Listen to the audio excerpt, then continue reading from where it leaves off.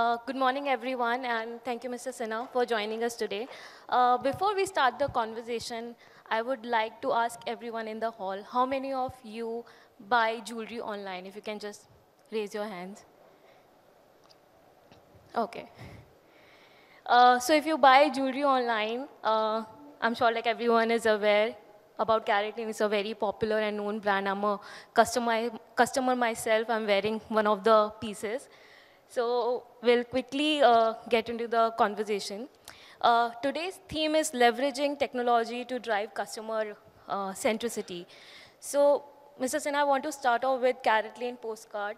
I think it's like the perfect example where CaratLane as a brand leveraged technology uh, to record personalized video messages on the rings for your loved ones. So if you can share what was the insight behind this? Um, jewelry as a category plays a very, very powerful and emotional role in the lives of people, right? Uh, we buy jewelry either for a very important occasion or if we want to gift it um, to a relationship that truly matters to us. And, you know, jewelry is, it stays for a lifetime, right? So you buy the jewelry, but what we realized is that customers would buy the jewelry, the jewelry stays for a lifetime, but the emotion associated with that period, you know, at that moment of gifting, that emotion wouldn't last that long, right? So if you wrote uh, if you wrote a small note with it, or if you said something, I mean, unless somebody was recording it, and notes also, they often get misplaced or they get lost. I'm talking about five years, 10 years, 20 years into the future. And we were um, thinking about how do we capture the emotion along with the moment of gifting the jewelry and allow customers to have it for posterity, you know, uh, so that they can look back about, uh, on it and relive those moments. So that's when we launched the postcards feature. Uh, for the audience, if you're not aware of it, um, you know, you, when you buy a CaratLane jewelry, you can actually video record your personal message for the person that you are gifting it to. Um, and whenever the person who's received the jewelry as a gift, the ring, we've started it with the rings category, she just has to scan her ring and the video will play back. So no matter where you are, uh, you just need to have your phone and you need to be wearing or have the ring with you and just scan it and it'll play back that memory and that emotion at any point in time. And I'm yeah. sure it's not an easy thing to do. So if you can share what were the you know execution challenges and how has been the audience response? Okay. Uh, yeah, it was not easy. Uh, you know, um, when we were working on it, see, scanning the ring is actually not so difficult. But the problem is that, uh, you know, if we were doing it in our um, office and where we were testing it, we could control the lighting. We could control the angle from which we are going to scan it. Um, but when, a, when we have to make it in a way where a customer can use their phone, and every phone comes with a different camera resolution. There will be different kinds of lighting. They will scan it from different angles. So to make it work, where that personal message of that individual pops up for that particular ring, despite all these challenges, was not an easy task. Um, and we have an in-house technology team. We actually worked on this for over one and a half years before we could bring it live uh, for our customers. launched this last month only. Yes, we did. Uh, we launched it just before Valentine's uh, Day, and we thought that was a great moment to um, be able to bring it to customers. Um, and in the first, very first month of February itself, we have had more than a thousand messages being uh, uploaded along with the jewelry that the customer, the ring that the customer has bought. Um, so definitely it's had a great response. So it was only for the rings? right now, we've started with rings. Okay. And um, we obviously want to take it over more categories. But rings is easy to scan. You know, if you do it for earrings, it's not that easy to scan or you need to take it off. So which is why we started with rings. Okay, that's very interesting. Uh, also, you know, you started off as an online brand and now went, then ventured offline. So from a digital approach, now the approach is omni-channel. So what is the challenges, you know, in ensuring a seamless experience across uh, online and offline channels? Right. Um, so I'll start, I mean, like you said, we started online. And the reason we began opening stores is because what we found in our early years is that many customers were coming to our website, going all the way to add to cart, but they were not finally converting. So there were many who were converting, but many were not. And add to cart is the most powerful signal of an intent to purchase for a customer. So when they drop off at that stage, you want to understand why. Um, and when we would speak to these customers, and they would say, you know, at the end of the day, this is jewelry, right? And I, I mean, I love the design, I love your pricing, but I'm not yet ready to buy it uh, online. Uh, so there were a bunch of customers who were ready and a bunch of customers who were not. Uh, and we said the only way to try and you know, solve for this is to start opening stores and allow these customers who are not ready to buy online to be able to experience us uh, in stores. Um, that, um, you know, it was a very big learning journey for us because when we started opening stores, we had a lot of friction, right? And many brands went through it. Customers would come to a store and they would bargain for an extra discount. And if they did not get that discount, they would um, call up online. And the online person would say, OK, I'll give you an extra discount because the online person wanted the credit for it. Uh, and they would just give the extra discount and uh, the customer, we would basically make a fool of ourselves, right? Um, so we started, you know, we learned from that and we said, we will not do any discretionary discount. Yeah, so whatever offers we have, it is published on our website. The exact same offer will be available in our stores or online or anywhere else, right? Okay. Um, so you remove any kind of reason for a customer to think one channel may be better than the other. Our policies are 100% the same across channels. Uh, but the other problem to solve for us was on the part of incentives. See, omni-channel is not just about opening stores and having online, right? When the, let's say a customer calls an online customer service uh, person saying, I need advice and I want to know if I can buy this ring. Now, if the online person knows that, feels that I will get credit only if the customer buys online, you know, for my incentive, they are not going to tell the customer, look, if you're not sure, go to a store nearby, right? They're going to try and convince the customer to buy online.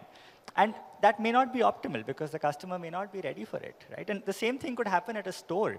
Uh, if a store tells the customer that, no, no, buy here, two days later, if you buy it online, I don't know if you'll get the same experience. We are not, um, you know, it's not helping us in any way.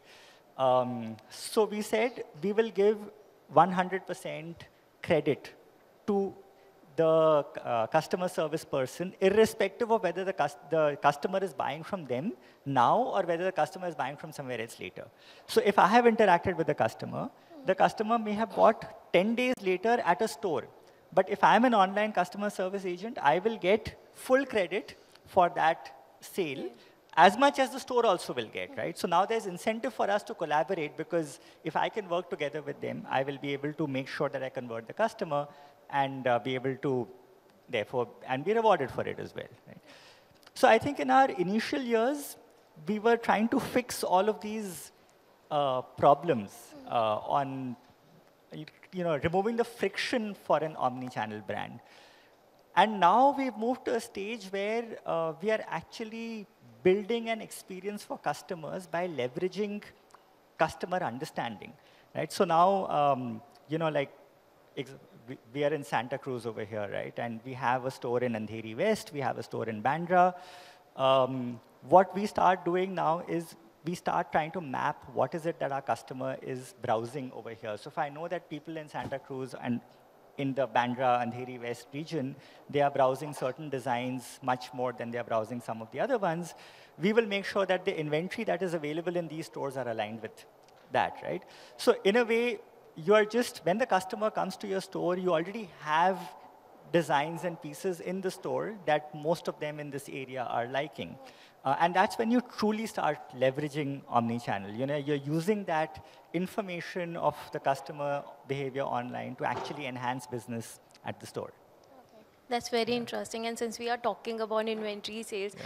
I'm curious to know if you can share how much online and offline contributing to the overall growth okay. of CaratLane.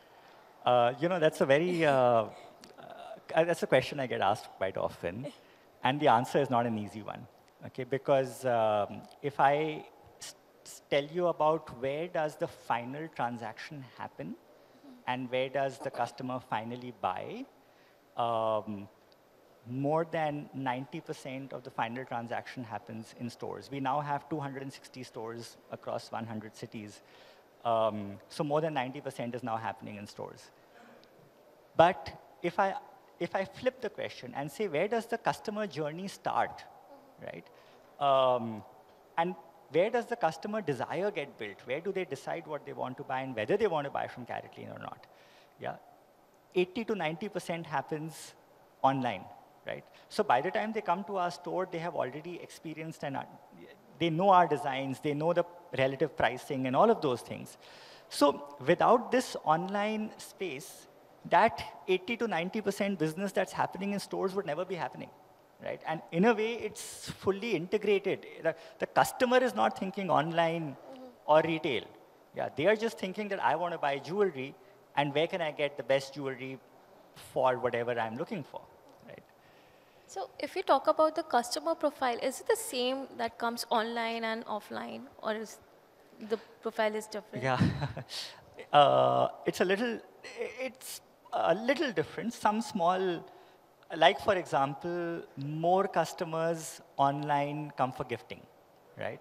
And you know, actually, um, one very interesting um, insight over here is that we all know men don't like shopping. And men going to a jewelry store is just like they are completely out of place, right? They don't know. So they really love the fact that they can buy online, right? Okay. And they really love the fact that, again, we have a 15-day money-back policy. So if you don't like it, we will take it back and give you a full refund, right? So that's a big question because for men to understand what jewelry will my spouse like or my daughter, whoever they are buying for, is it's a black hole out there. Yeah, they are very rarely going to be able to get it right. So for them, the convenience of being able to buy online and knowing that if they don't get it right, it can still be fixed by exchanging it for some other piece of jewelry or something. I mean, that's great. So a lot of gifting happens and men buy more online, especially okay. if they're buying for gifting, and women buy, women prefer, prefer to come. For them, it's an, it, it's not a you know, it's not something which they enjoy spending that yeah. time. They want to try out those designs, right? They're thinking not just what I'm going to buy now, but what I'm going to buy next time as well. That's very interesting that men buy jewelry more. Uh, also, you know, CaratLane is now a part of Titan Group, and you know, I just want to step back in time when the partnership was done. CaratLane started as a, like a online brand, while Titan strength was offline. So, what were the learnings you took from Titan and vice versa? What did they learn about online from you? Okay, uh, I'll start with what we got from them. Um, Titan, as you know, runs Tanishq, which is India's most trusted jewelry brand. Um, and you know, the, uh, we had started our business in 2008. The one thing, money can buy pretty much everything. The one thing it can't buy is trust, right? So for us, this association with Titan allowed us to build trust with customers and in a way leap into the trust building space because of course step by step we were beginning to build a customer base and uh, trust with them. But this allowed us to really take a leap into that space. And one of the first things that we did in 2016 after this association was we rebranded ourselves to say CaratLane, a Tanishq partnership, right? right? Uh, because that truly expressed who we were as a brand, an independent brand, but in association with Tanishq.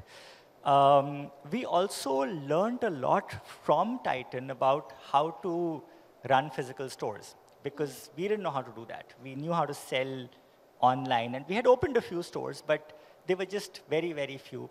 Uh, but running the store, how to manage the operations, how to deliver great customer experience. Um, and in fact, now many of our business partners or franchisees are franchisees who've been with Titan for many years, right? So we were able to leverage this uh, franchisee community with them as well. Um, what Titan got from us was, um, uh, so Titan had been watching this space for a long time, and of course they had Tanishq and they launched Mia after some time, but um, they did not have the understanding or the deep understanding of how online customer behavior is and how do you engage and build that online traffic and convert that into uh, stores uh, or footfall traffic. Um, and that was a space where we were able to add value to them, you know, this learning that we had. Okay, okay. And also, I want to understand how does CaratLane elevate customer experience? Um, yeah, so it's very, very important. You know, when customers, actually for any brand in any category, but particularly so when they're coming to buy jewelry, it's a very special moment for them. Um, and we have a belief in CaratLane where we say that, um, you know, it's the small things that make a difference. Mm -hmm. So actually, when the customer is walking in, it's not as if we do something which is, um, you know, which requires a lot of money or something that will create um, uh, a special experience in a way that requires, that's intensive. Yeah, it's little, so I'll give you examples. Like we have a rule in our stores that um, the customer should never have to open the door, right? We should open the door for the customer.